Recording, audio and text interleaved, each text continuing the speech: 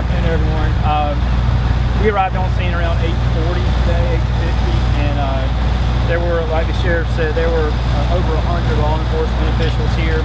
Uh, we do thank our district and our staff. This school was very prepared in what they did. They uh, conducted our ALICE trainer, ALICE protocol. The doors were uh, people could not get in.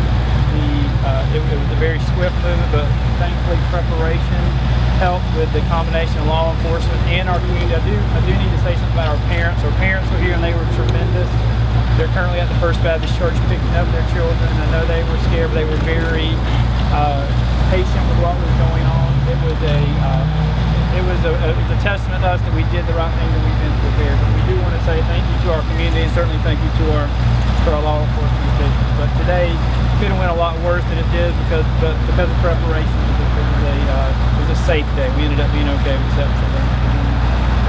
What does it mean to you the fact that your school resource officer was able to assess and correct the situation as quickly as he did? As a district person and as a dad, more importantly, it makes me feel good. Uh, he did engage and uh, saved a lot. We have a lot of heroes here. Unfortunately, we don't know who they are yet, but they're parents and, and students and teachers and faculty and law enforcement officials as well. But makes you feel good as a parent that our schools are safe.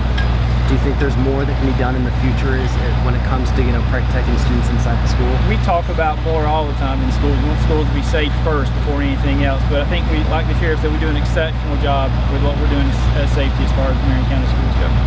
Can you, can you state your name and title? Yeah, I'm Jonathan Grantham. I'm the deputy superintendent here at Marion County, one of the deputies here.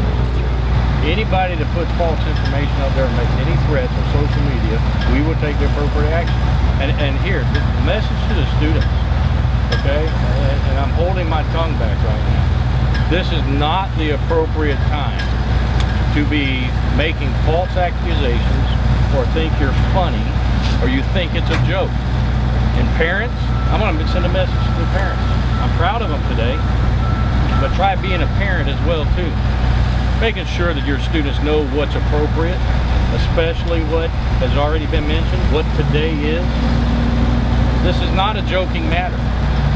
What happened down south almost came here to Marion County. And they need to stop. And I'll give you my personal feelings. I think social media is the most evil thing that's ever been created.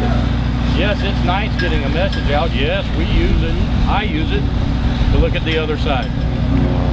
Social media is destructive, as evident of what you just asked.